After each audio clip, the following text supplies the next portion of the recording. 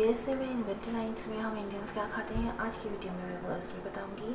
सो so, आज मैं बनाने जा रही हूँ गर्मा गर्म पराठे और उनके साथ दही आलू। तो कुकर में मेरा आलू बॉयल हो रहा है। और चलिए मैं आपको बाकी की प्रिपरेशन दिखाती हूँ। यहाँ पे मैंने लिया है एक तेज पत्ता लौंग काली मिर्च और इलायची। और यहाँ पे है दो chopped onions green chili and ginger दही आलू में yogurt is the main thing so most of the time मैंने देखा है कि दही जब भी हम डालते हैं तो वो फट जा फट जाता है। सो so, उस चीज़ को अवॉइड करने के लिए try to mix all the masalas in the curd itself so यहाँ पर मैंने लिया है turmeric powder red chili powder coriander powder and cumin powder और फिर इसको अच्छे से मिला लें और आप गैस का फ्लेम लो रखें जब आप दही ऐड करें या फिर आप गैस बंद भी कर सकते हैं। पराठा बनाने के लिए मैंने आटा गूंद के पहले से रख दिया था। इससे काम बहुत इजी और जल्दी हो जाता है। आलू जब बॉईल हो जाए तो एक फोर्क लें और उस आलू को अच्छे से पीस कर लें ताकि जब हम कुक करेंगे तो आ, मसाला इसके अंदर तक जाएगा और टेस्ट बहुत अच्छा बनेगा।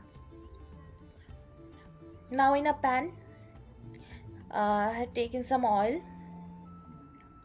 so first let us fry the potatoes potato को अगर हम फ्राई कर लेते हैं तो वो टेस्ट अच्छा लगता है और इसको, वो दिखने में थोड़ा और अच्छा लगी इसके लिए। इसमें हम ऐड करेंगे थोड़ा सा red chili powder and turmeric powder क्या है कि ना, दिखने में अगर अच्छा लगे तो खाने में कम मन अपने आप करता है। और फिर अब इसको मैं अच्छे से फ्राई कर लूँगी। या are fried nicely now in the same pan, i am taking again some oil और अभी मैं इसमें अब जो खड़े गरम मसाले थे वन बाय वन उसको मैं ऐड कर दूँगी।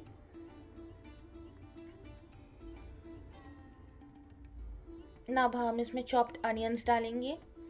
Now the most important step in this recipe is to fry the onions very nicely जितने अच्छे से प्याज फ्राई करेंगे, उतना अच्छा का ग्रेवी होगा और उतना टेस्टी बनेगा। सो टेक टाइम धीरज रखें और अच्छे से अनियंस को फ्राई करें। नाउ हम गैस का फ्लेम लो करके इसमें हम दही ऐड करेंगे और करछी को चलाते रहेंगे। एकदम चलाते रहे, बिल्कुल नहीं रुकिए, वरना दही फटने के चांसेस होते हैं। आप गैस बंद करके भी डाल सकते हैं।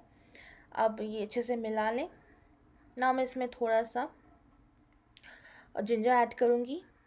जिंजर को मैंने स्लाइस करके काटा था एंड इसमें नमक ऐड करेंगे और फिर अच्छे से मिला लेंगे। जो भी जो आलू था, हम अब इसमें आलू ऐड कर देंगे और अच्छे से मिला लेंगे। और फिर इसमें हम थोड़ा सा पानी दे, डाल के, ढक के इसको पाँच मिनट के लिए बॉईल होने के लिए छोड़ देंगे।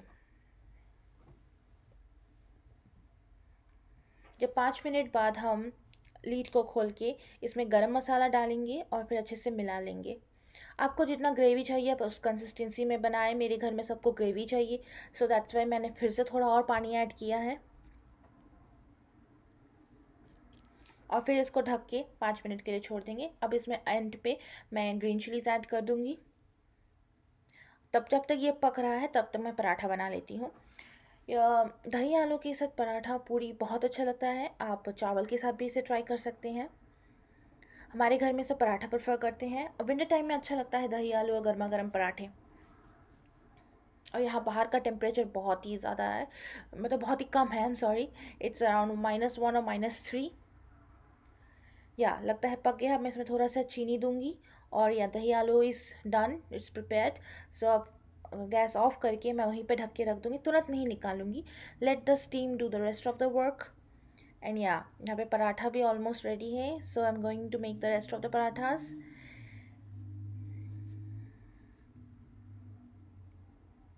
दही आलू को गर्मा गर्म पराठे के साथ सर्व करें।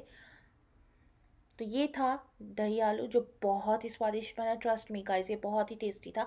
Please try this at home with paratha और you can try it with rice also तो ये था हमारा विंटर नाइट डिनर आपने क्या खाया? कमेंट पे ज़रूर बताना। Bye bye